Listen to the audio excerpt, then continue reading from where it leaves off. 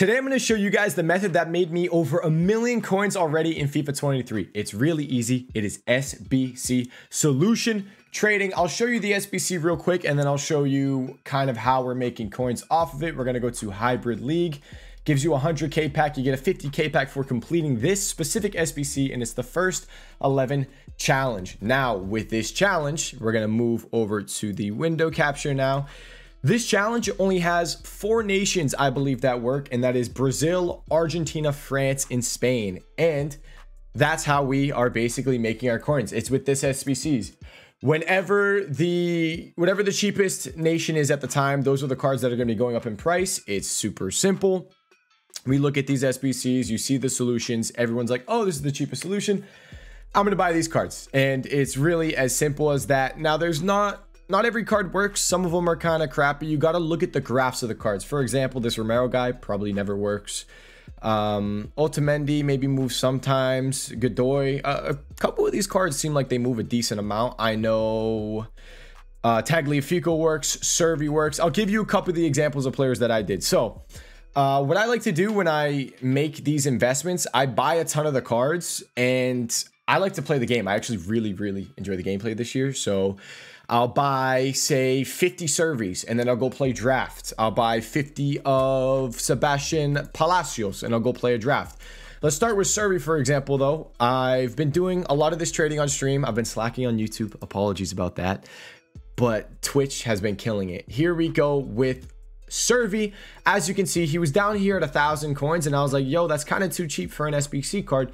The bids were super, super easy at a thousand coins. We picked up a ton of them. We can't see it here. The graphs on Futbin, you can't go off of them sometimes too much because it's a little slow at the moment, Futbin is. So let me just pull it up real quick. I have a screenshot of when I was selling mine and boom, here we go. Cervi actually ended up going up to 4,000 coins. I sold mine for 3,400 and we made a ton of coins off of that play. It's basically just investing in these SBC solution cards when they're low and then waiting for them to become the cheapest solution and and that's all I've been doing. You can actually sit here too if you don't want to, you know, wait and play the game. You can sit here, wait for the cheapest solution to pop up. Let's say we see this. All right, this is the cheapest one.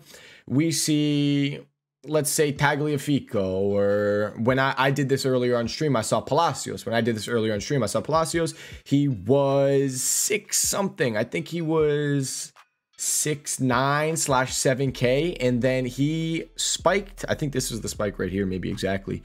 I actually ended up selling mine for eight thousand nine hundred coins, and I bought them for like I think six nine seven thousand around there.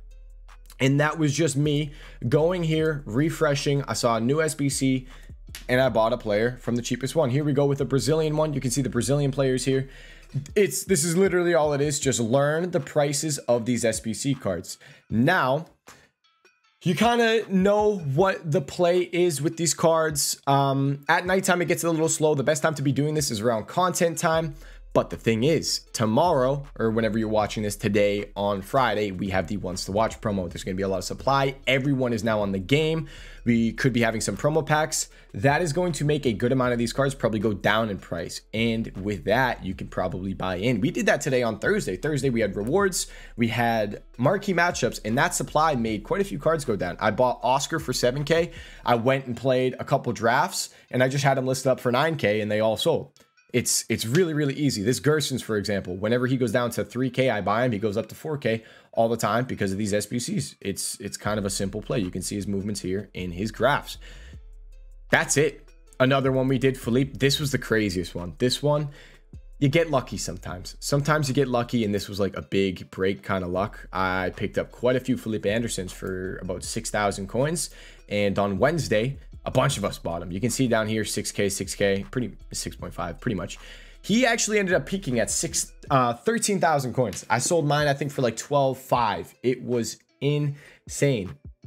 And that's it, guys. That That is the SBC Solution Trading. Learn the cards. I, I showed you a few. Felipe Anderson, Cervi. Watch their trends. Now, it's not going to be the same. You're going to have to kind of feel it out a little bit tomorrow, like I said today, whenever you're watching it, we're going to have everyone on the game, the ones to watch promo, at content. There's going to be a lot of pack supply. I would say one to two hours after, maybe when all those all that supply comes through, there's a lot of bids you can hop on. There's going to be so many coins you can make picking up these cards. Like this guy Oscar, if he gets cheap, this is one of the cards on my radar. If he gets low, same thing with Felipe Anderson, kind of Cervi, Palacios.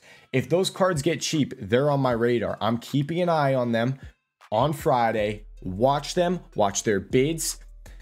Another thing, even if you don't necessarily know how to do this SBC solution trading, you can just trade with the cards in general. You don't even have to know anything about the SBCs. If you're good at sniping, maybe at content, there's a ton of bids. You can get crazy deals on bids. You can get Oscar on bid for super, super cheap at content when there's a lot of bids coming through. You got to wait for the hour mark. So say content six o'clock, an hour later, all those bids come through from content. So, you know, just understand that. But if you don't understand the whole process of trading with these SBC cards, snipe them. It's very simple. This Oscar pops up all the time for super cheap.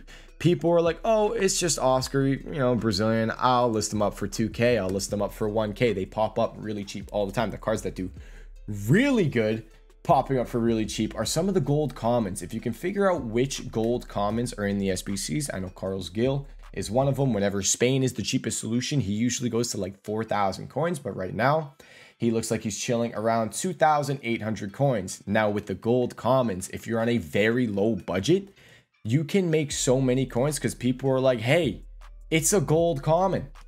I'm just going to list them up for 400 coins. And it happens uh, 1,800 coins. Boom.